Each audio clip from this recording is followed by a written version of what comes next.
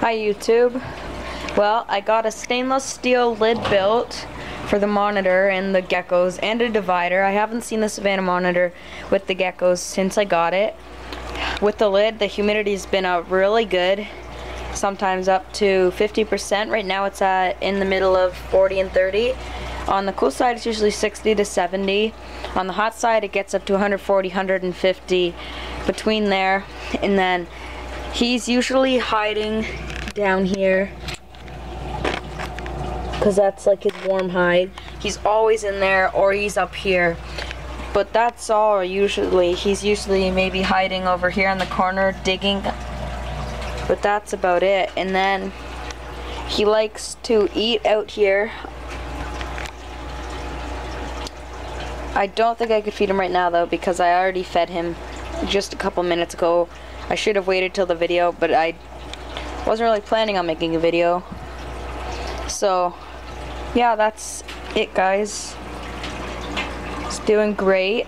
He was a little bit hissy, and then I started to handle him. Now he's really good.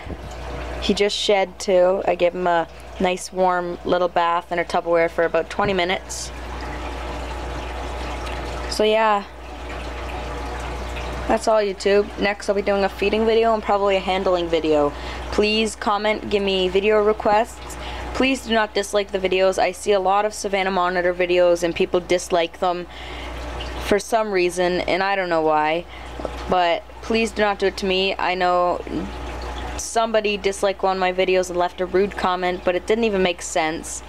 They said I had five Savannah monitors or something and I didn't understand it but Please don't do that. Well, thanks YouTube. Comment, like, and subscribe. If you have any requests, you can tell me about them in the comments. And if you have any like suggestions on the Savannah Monitor, I'd like to hear them. I do have good sources too. I know a breeder who I've been getting lots of my information from, and he gave me a book by Daniel Bennett Well, thanks YouTube. Peace.